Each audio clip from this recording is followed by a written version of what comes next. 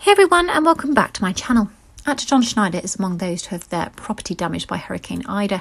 The 61 year old Dukes of Hazzard actor's home and studio in Holden, Louisiana, were hit by the storm on Sunday night, according to his rep. The star's rep told Fox News that Schneider was in Nashville helping to organise Middle Tennessee flood relief efforts when Ida hit, but is now on his way back to Holden. The extent of the damage is not yet known, but a friend sent an image of Schneider's studio from the road.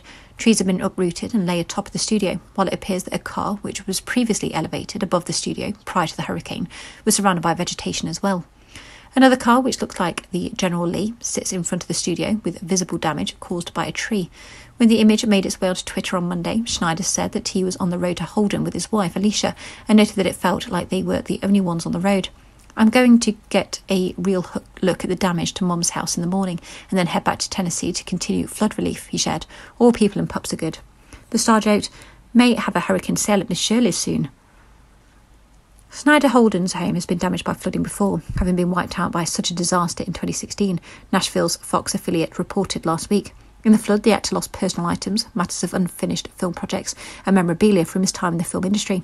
He and his wife were set to collect donations of hygiene items, cleaning supplies, water, air mattresses, batteries, gloves, sunscreen, trash page, rakes and shovels, plastic tote boxes, ice chests, non perishable food items, diapers, pet food, toilet paper, paper towels, socks, alcohol wipes, and bandages.